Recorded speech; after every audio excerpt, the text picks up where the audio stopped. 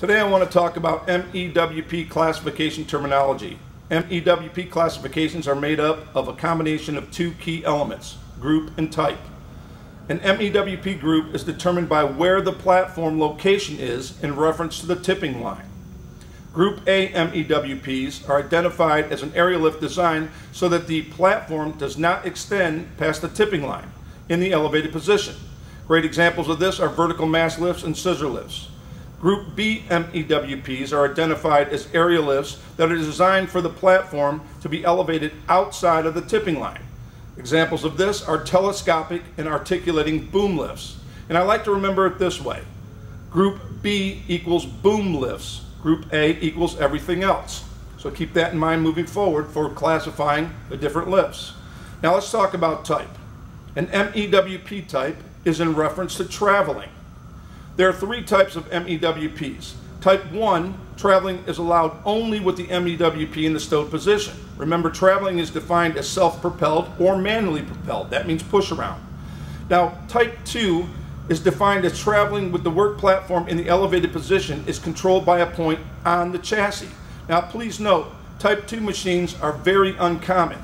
And for this reason, we will not discuss them in aerial lift operator certification, and so we will not include them in today's video.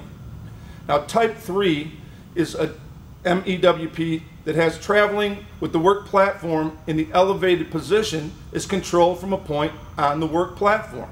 So that would be basically all self-propelled modern aerial lifts. So, that's being said, we have four uh, particular classifications we need to deal with. 1A, 1B, 3A, and 3B. Now let's start by going through these one at a time.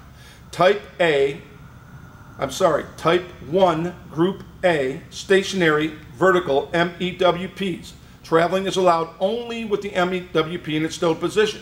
A great example again of this is the vertical mast lift, the push around vertical mast lift, like this one that I have right behind me.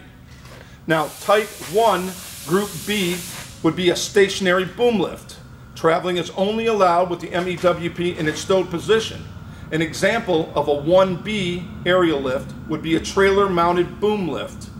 And so that would be 1A and 1B, basically the manually propelled lifts that are only allowed to be moved in the stowed position. Now let's move on to type 3A.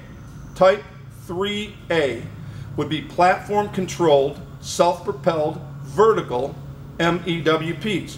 Traveling with the work platform in the elevated position is controlled by a point on the platform. And so this electric scissor lift next to me or a rough terrain scissor lift would be a 3A classified aerial lift. Now, type 3 group B are platform controlled mobile boom lifts. Remember, B equals boom. So travel with the work platform in the elevated position is controlled from a point on the work platform. A great example of a 3B is this articulating boom lift next to me, but any telescopic or uh, uh, articulating self-propelled boom lift would be a 3B. Now that covers 1A, 1B, 3A, and 3B, the different classifications that we need to know. Just remember this, two groups, a and B. B equals boom. Everything else is in group A. Two types that we're concerned with here, type 1 and type 3. Type 1 lifts only travel or move in the stowed position, uh, like a tow behind or a push around. And type 3 are self-propelled lifts where travel is controlled from a point on the work platform. I hope this helps you understand MEWP classification terminology.